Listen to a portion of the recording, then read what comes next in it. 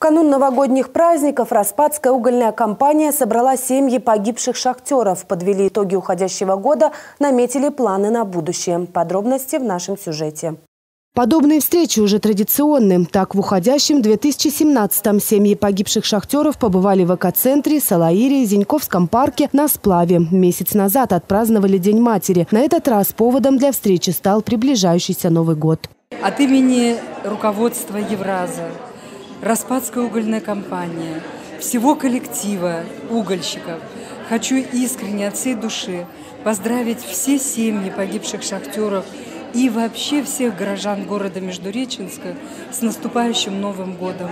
Пусть он будет мирным, пусть он будет сытым, пусть он будет непроблемным, и пусть всем вам – живется в вашем городе тепло и уют. Участники отмечают, такие мероприятия делают жизнь событийно насыщенной, помогают не на словах, а на деле почувствовать так необходимую поддержку друзей. Спасибо Евразу, они нас как-то сплотили, объединили.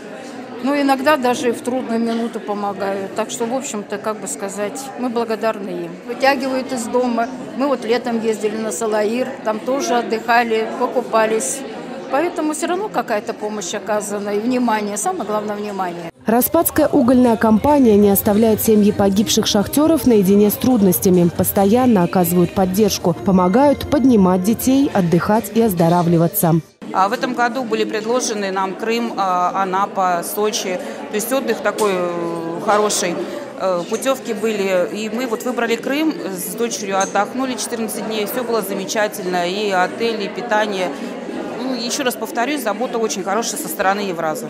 Нам прям, знаете, это очень приятно. Подвели итоги уходящего года. Наметили планы на 2018. В следующем году шахтерские семьи ждет еще больше интересных мероприятий. Анна Забродина, Игорь Ковалев. Новости плюс.